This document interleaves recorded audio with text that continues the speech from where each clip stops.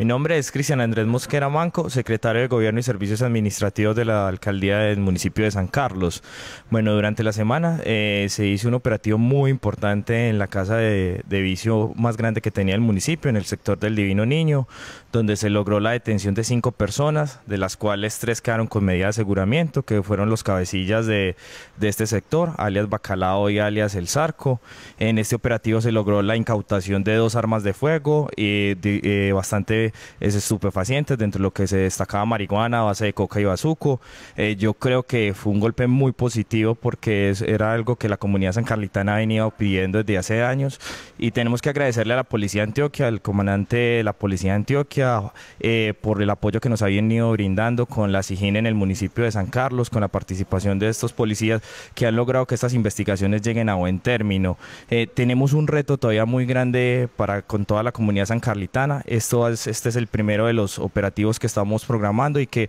con los que vamos a tratar de mitigar todo este flagelo de los estupefacientes y, y el daño que le ha hecho a toda nuestra comunidad.